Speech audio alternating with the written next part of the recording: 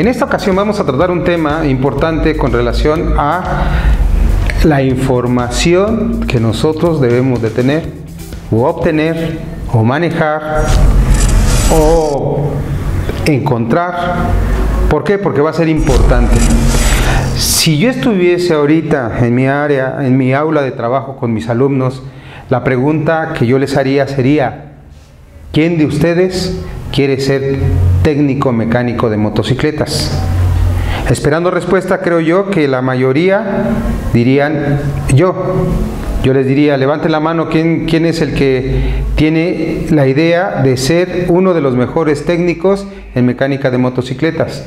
Y la mayoría del grupo, creo yo, que levantarían la mano. La comunicación que se transmite del profesor al, al, alumno es muy importante.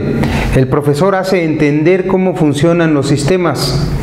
El profesor hace entender cómo funciona cada uno de los componentes que integran al sistema. El profesor hace entender cuáles son las posibles fallas que se puedan presentar en esos componentes de esos sistemas de esa motocicleta. Y el profesor lleva a cabo un procedimiento de diagnóstico para que puedan encontrar la falla más rápidamente. Pero es muy importante también contar con otro tipo de, conocimientos, otro tipo de información, otro tipo de material para poder confirmar que en verdad ustedes están haciendo su reparación adecuada y que son los manuales de información. Esos manuales de información que normalmente no se consiguen tan fácilmente, las agencias es imposible que, los puedan, que las puedan proporcionar. Solamente las personas que se dedican a elaborar manuales o las agencias o las marcas ya, ya este, prestigiadas van a tener. Por eso que la invitación hacia ustedes es, si ustedes tienen la intención de continuar con esta parte de mecánica de motocicletas, y quieren reparar no nada más su motocicleta. ¿Por qué? Porque en algún momento va a ser necesario que ustedes reparen la del amigo, que tal vez no es una scooter, que tal vez no sea una de trabajo, muy probablemente puede ser una deportiva. Y así nos podemos ir. Y si nosotros nos metemos en el área de motocicletas, tenemos... Eh, motocicletas de eh, pequeñas cilindradas como las scooters, como las de trabajo, como las deportivas, como las chopper, como las viajeras.